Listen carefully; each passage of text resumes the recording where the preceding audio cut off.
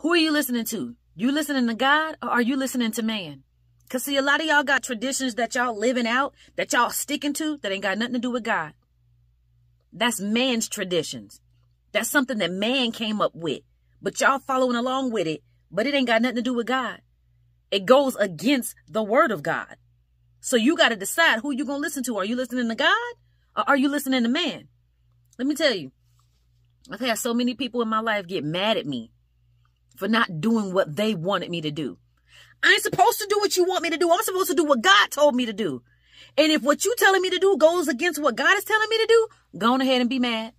Go on ahead and be mad because I don't even care. I'm going to follow what God is telling me. I'm going to run everything by God to find out if what you telling me is what I'm supposed to be doing.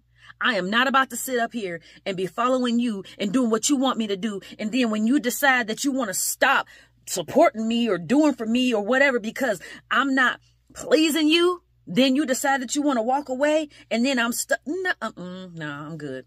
I'm going to just not listen to you at all. I'm going to go on ahead and I'm going to keep following what God is telling me to do.